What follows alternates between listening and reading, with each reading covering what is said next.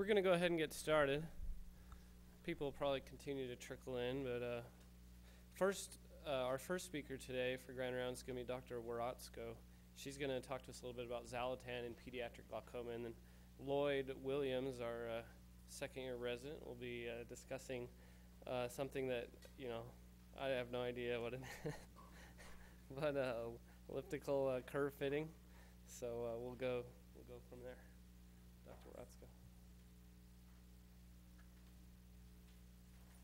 You. So, good morning. This was a study that um, I was responsible for leading while I was at Pfizer last year, and we recently presented it at AAO. And it actually did get uh, Best Poster um, at the convention, so we were quite proud of the work. And again, it was um, the purpose of the study was to get a pediatric indication for Xalatan. And I don't know how many of you are familiar with the status of some of the IOP lowering agents, but in the United States, there is no IOP lowering agent approved in children for pediatric glaucoma. And in Europe, the only one that's approved is actually uh, dorzolamide. Timoptic is approved, but it never went through a formal uh, clinical trial for that approval. So obviously, uncontrolled glaucoma in young children uh, leads to a lifetime of blindness, and especially in Europe and in some of the emerging countries and emerging markets, um, glaucoma is, is a problem for these children. They do not have access to medical and or surgical care.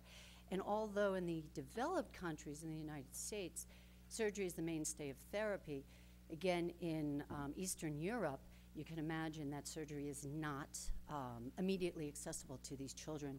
So a lot of these children do require medical therapy as they're waiting for surgery.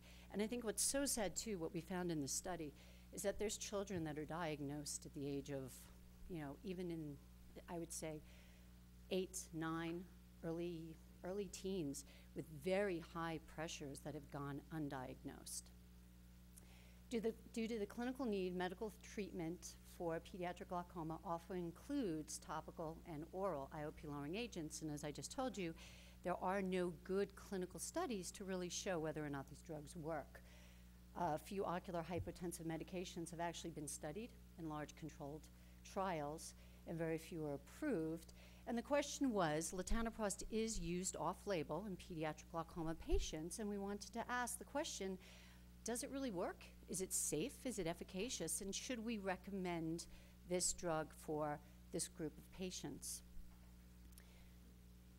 The, um, the EMA, which is the European Medical Agency, that's the regulatory equivalent of the FDA, wanted us to study babies as well.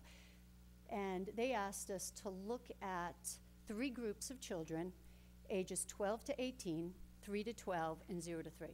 Why they wanted a three year old cutoff, your guess is as good as mine, but that was the cutoff. And they also said before you go and place these children in a phase three study, you need to do a PK phase one study. We want to know what the blood levels are of this drug in these children. The first study was the phase one, which was our pharmacokinetic study. We had children come in, we switched them in both eyes, 8 a.m. with latanoprost, Again, it's a PM drug, but in this case, we were administering it 8 a.m. in the morning, and we didn't do punctal occlusion because, again, we wanted systemic absorption. Three to 28 days later, blood samples were drawn on these children at 5, 15, 30, and 60 minutes post-dose. And we were looking at latanoprost acid. If you recall, latanoprost is a prodrug that gets converted through the cornea and the ocular tissues by esterase enzymes. And we were looking at the acid form and this was measured with um, mass spec. We're also assessing safety evaluations as well. The phase three study, which was the large prospective randomized clinical trial, was a 12 week double mass multi centered study.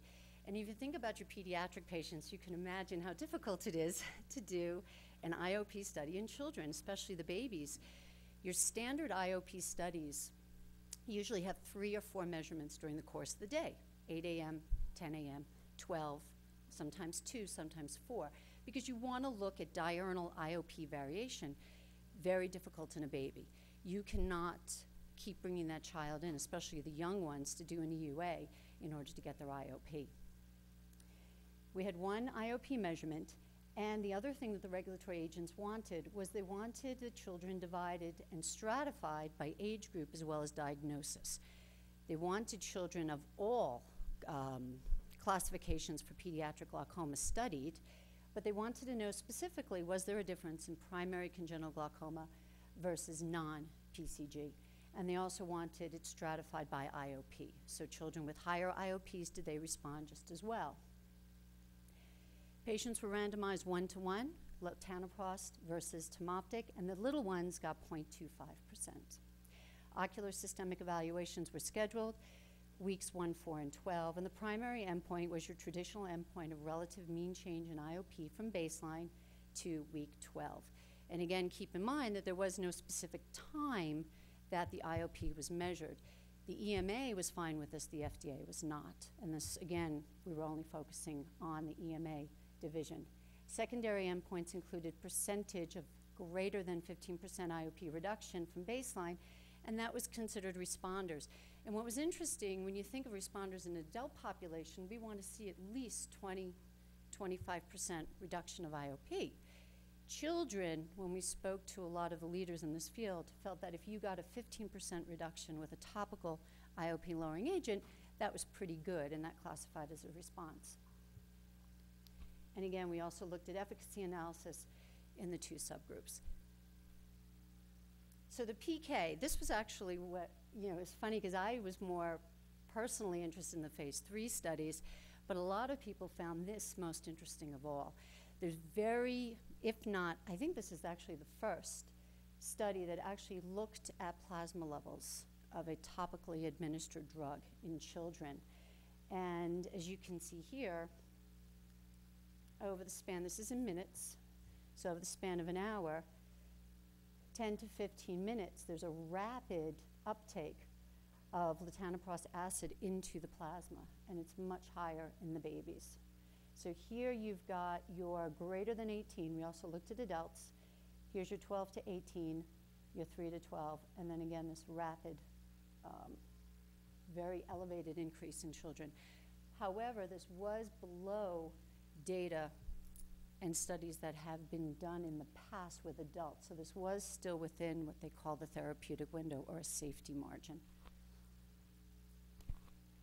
No temporary discontinuations, no permanent discontinuations due to adverse events, and there were no treatment emergent adverse events, and no clinically significant changes from baseline in any other laboratory.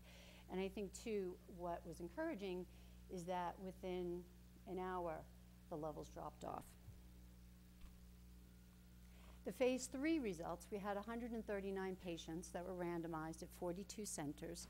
137 were treated and were included in the intent to treat population, and 107 out of the 137 were in the per protocol population. And we ended up with pretty nice numbers in terms of the randomization. We had 53 on latanoprost, 54 on Timoptic, and also in the stratification, the primary diagnosis for PCG was, was 45% of patients in each group. We found that the IOP levels were actually decreased in both latanoprost and the Timoptic groups. 7.1 millimeters of mercury in latanoprost, 5.8 in Timoptic. And in the PCG group, we had 50% responders for latanoprost and 46 responders for Timoptic, which surprised us. And respectively, in the non PCG group, the responder rate, again, it's 15%, greater than 50% drop in IOP, was 72% in latanoprost and 57% in Timoptic. The hypothesis was that we were not inferior to Timoptic, and our non inferior was a margin of minus three millimeters. Usually in most adult studies, it's one and a half millimeters of mercury. We chose to go higher because, again, in kids, there's so many variables. You're dealing with thicker corneas that also can impact on the pressure. A lot of times you're doing um, tonopens, so you're not doing applanation. So, again, there were a lot of variables in this study that could confound that. And we said, okay, if we are within three millimeters, we're not inferior, and that was accept acceptable with the agency and also the people that we um, were consulting with. We were non-inferior, but what was interesting is that in all groups, latanoprost actually appeared to be superior in terms of numerical numbers. These were not all statistically significant, especially in the PCG group, but in the non-PCG group, um, again, there was a clear difference in um, numerical value of greater IOP lowering in that latanoprost group. Was that last one? The last one was, yes. Just looking at it, it looks like it So the IOP reductions in the safety at baseline, and again, when we think about latanoprost and how long we wait for it to work or take effect, we were pleasantly surprised that at week one, we actually had IOP lowering effect. That was then maintained out through week 12. There was a little bump in week four, not sure why. Um, and here's your, I'm sorry, the Timoptic. The Timoptic group bumped up in week four. And latanoprost held.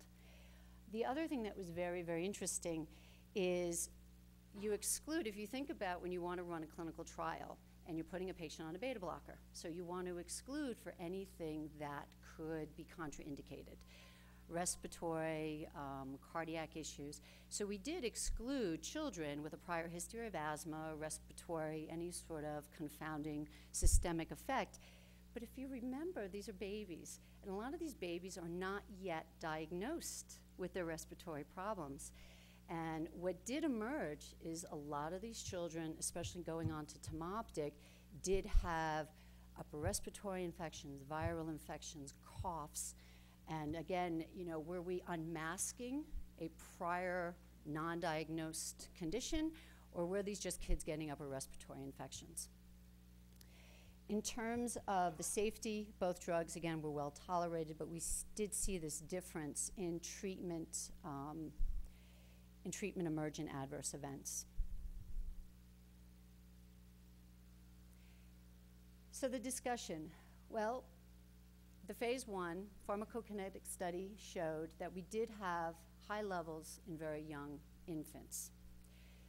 Overall, the consensus was that this was not a safety concern and that it was probably attributed to lower body weight, lower blood volume, and lower hepatic blood flow for these children.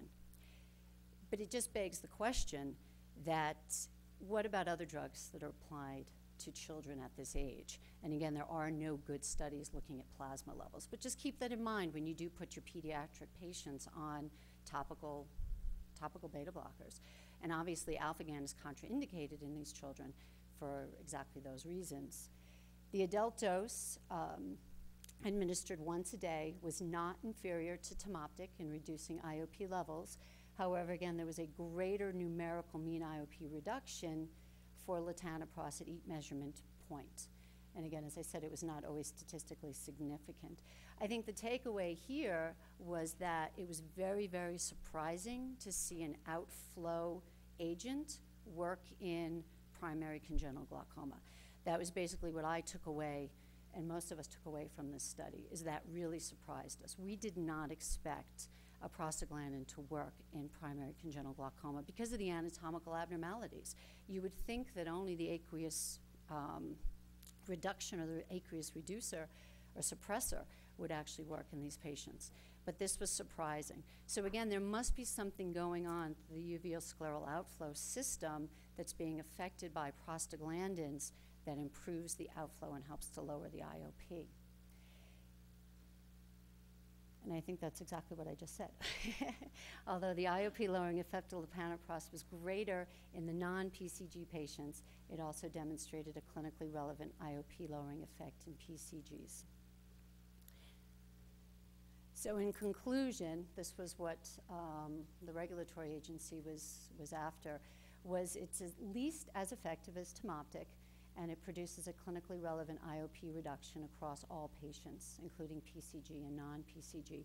We also had some patients with Sturge-Weber, we had some patients with aniridia, we had some patients with aphakic glaucoma, and we tried to break that down to do further sub-analyses, but it was very difficult because again, it's, you know, it's far and few between, and there's so many other confounding variables that are affecting the outcome of these children.